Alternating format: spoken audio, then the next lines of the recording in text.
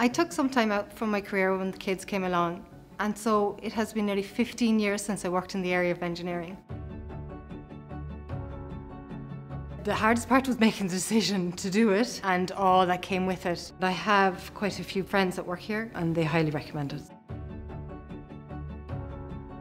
The Returners programme has been a great opportunity for me to restart my career in a kind of a comfortable and relaxed environment.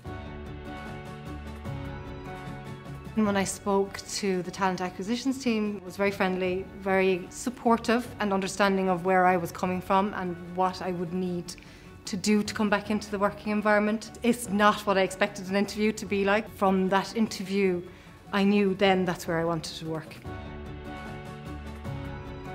It is daunting, but I'd say go for it. Returning to work, I didn't think it would be as rewarding it has been. I think it's the best thing I've ever done.